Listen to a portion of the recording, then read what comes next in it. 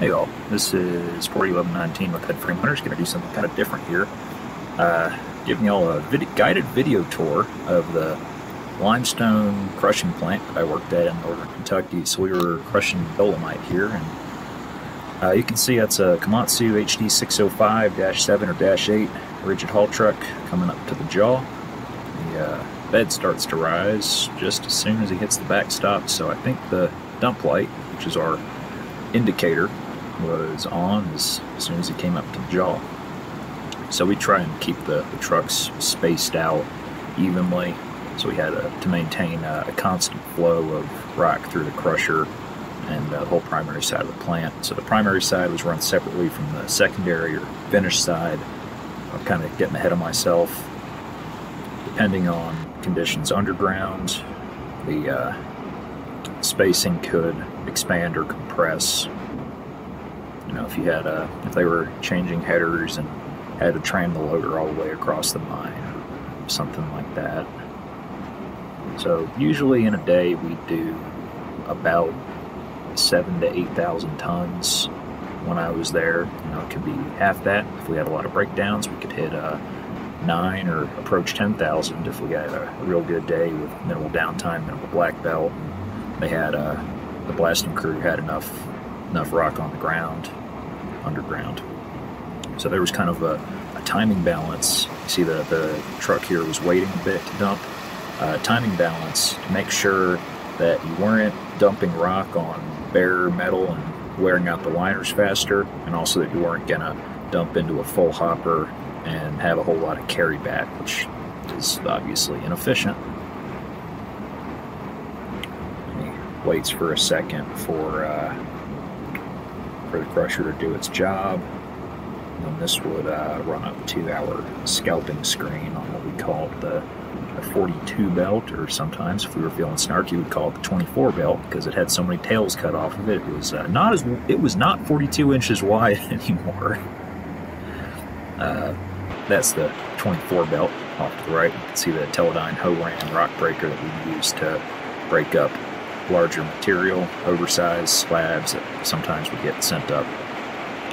So there's that flapper door there, and if we had contract for riprap at the at the time, we would send it down the riprap chute, all that oversize, and you know sell it for uh, projects on the river or, or uh, erosion prevention, retaining walls, whatever they needed riprap for. So that's a whole bunch of riprap down there, and if we did not have contract for it, we'd flip that that diverter door over and send that rock to this, which is our Nordberg standard crusher. This cone crusher, I think it's a 1973 thing is older than I am, and it broke down a total of about twice in a in a one year period. It, it was a phenomenal crusher. That that thing just would not stop. Now the, the undersize from the uh, the scalping screen would go up. We called a number 16 belt to this, which is our DGA stockpile or dense grade aggregate. It's just a real fine road base material, packed real well. If you mixed it with water in a pug mill, you get a pug product, which was almost like concrete once it dries out. Just really good, all-purpose uh, road base material. This is a ground level view of the the primary side of the plant. Scalping screens up in that structure, DGA belts off that way. Then uh, off to the right is our, we call it our surge stacker. That's where we'd send the, uh, the discharge from two crushers. So there was that Nordberg standard and also a uh, Pioneer horizontal shaft impact crusher that didn't get video of uh, feeds the surge pile so we can run the primary even if the, the secondary or finish side, which you can see right there, is down.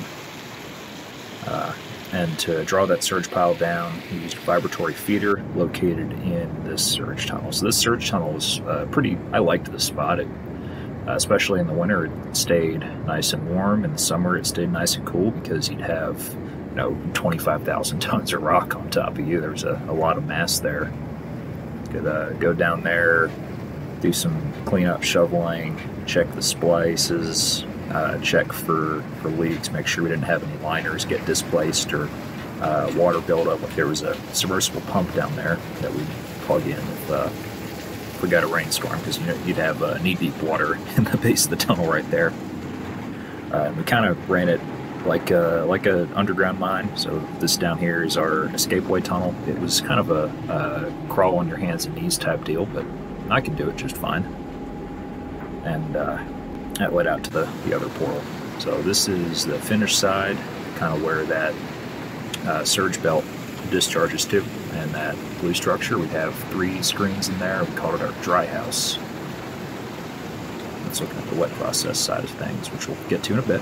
This is inside the dry house. We have these three screens, and they were running closed circuit with uh, uh, Metso HP 400 cone and uh, Nordberg short head cone. The 400 cone it had some electrical or controls or sensors sensor issues, and the thing would shut off for no apparent reason without throwing the code. I wasn't really a big fan of it.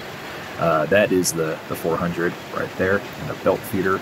Actually, on uh, both of those crushers, we had a belt feeder.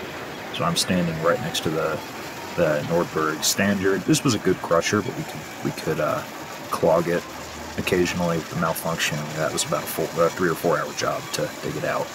The undersize from all the screens in the dry house comes out here to a 10 or 11 bell, and that runs out to a it's an Eagle Iron Works double sand screw, which uh, see in just a second. Uh, that sand screw, it's just a spiral classifier, so we pull off the uh, like the 200 mesh floaty stuff and send it out to our tailings impoundment, which was just a mined out surface pit from the oh the 60s. This plant was built in uh, 67, 68, and that's looking at the, the surge pile. Panning over, there's uh, Chucky on the skid steer. He and I kind of fought over that thing. Uh, then here's all of the uh, the finish side. Those bins used to be able to load dump trucks overhead, but uh, that system is no longer functional and it would limit our throughput uh, based on customer demand. So we actually uh, use a bin truck and run uh, use the bin truck to stockpile and the loaders to bucket it up. So this is where the uh, product from those two cones and finish side go. It's called our wash plant. It's a, like a 20, maybe a 2013 Conweld wash screen. And we produce uh, number 57 and number and number 8 WCA, uh, like washed crushed aggregate off of there. So this was uh, for you know, asphalt concrete, just real expensive, $30 a ton, good stuff. I'm looking, uh, sitting standing on the deck of the wash plant. You can see that screen going to town, all that rock. The, the upper deck there is sacrificial. It just protects the uh, the bottom two decks. So the, the overs from the, the bottom, or the, the middle and bottom deck go to the number 57, which is the 5 8 product, and the unders from the bottom deck go to the number 8, which is a 3 8 product. Uh, so this is, that's all there is to this plant. Uh, there's uh, a lot of other stuff, but this is kind of a good survey view. Down into the, the 57's bin there. Dropped my phone down there once. Looking uh, across Brooks Run from the wash plant, a couple deer in the woods there. We'd, we'd have deer, raccoons, etc. show up, find tracks, if, uh, find tracks the next morning in the plant. But uh, that's it, guys. It's been Party 1119 with Headframe Hunters. Thank you very much for watching.